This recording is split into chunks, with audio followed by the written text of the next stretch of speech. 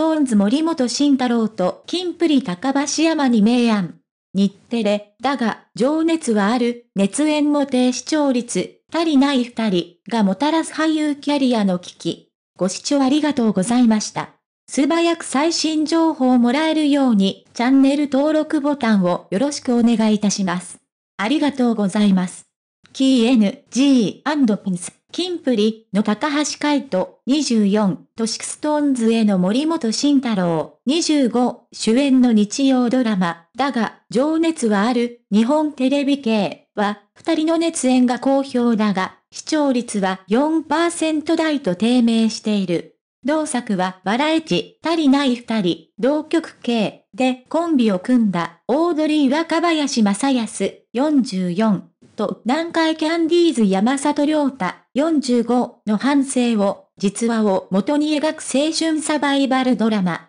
若林を高橋、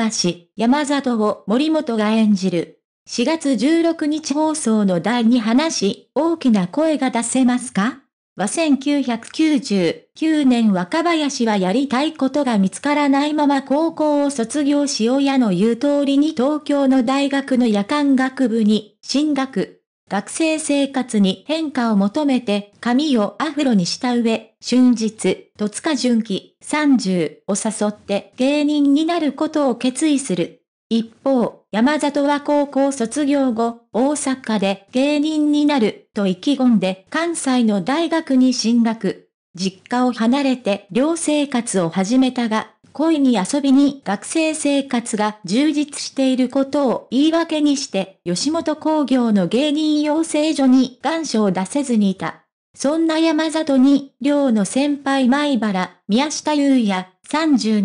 が喝を入れ、という展開。初回ほどのドン引きエピソードはなかったものの幼稚園の運動会で父親にダメだな、あいつと言い捨てられた若林や女性に振られた時の山里の卑屈な行動など鬱屈した展開があったためか視聴率は伸びませんでした。心配なのは次の第3話で、山里の言動には賛否が分かれそうです。ドラマライター、山から。四角若林高橋山はセーフ次回、山里は、同期の実力の1コンビがネタ見せ授業で大受けしたり、早くも女性ファンを獲得することに嫉妬。焦って自分のコンビの相方を厳しく罵るなど、目を背けたくなりそうなひどいエピソードが続きそうだ。これによって、さらなる視聴者離れを呼ぶ可能性がある。心配なのは森本が山里を忠実に演じることでファン以外の一般視聴者から嫌われる可能性があることです。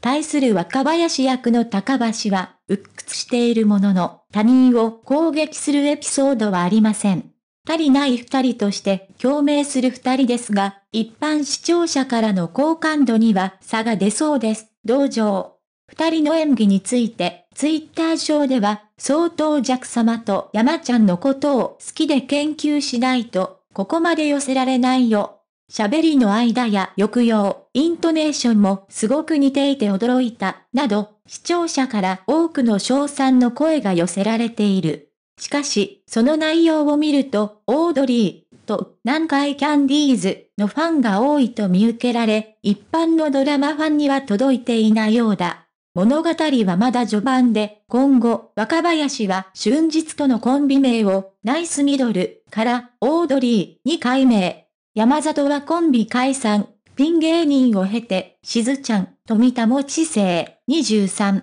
と出会うことになる。極度なネガティブ思考に悩みつつも、二人が成長していく熱いシーンが増え、低視聴率を挽回することに期待したい。四角高橋山にも若林正康が憑依、本人以上に本人っぽいのだが、数字に結びついていないところが悩ましい。